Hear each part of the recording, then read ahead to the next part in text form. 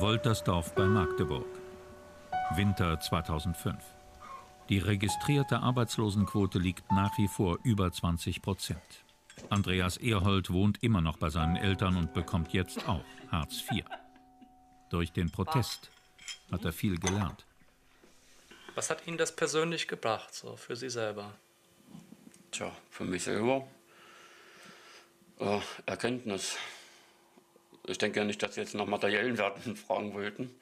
Also materiell hat es mir nichts gebracht. Im Gegenteil, es hat gekostet. Ja.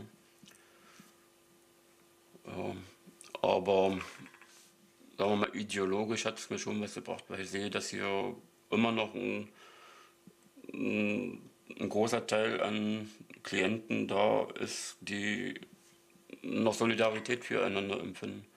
Ja.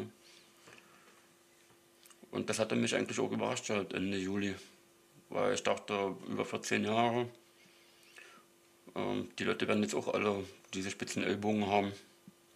Aber es ist noch nicht so. Und das lässt hoffen.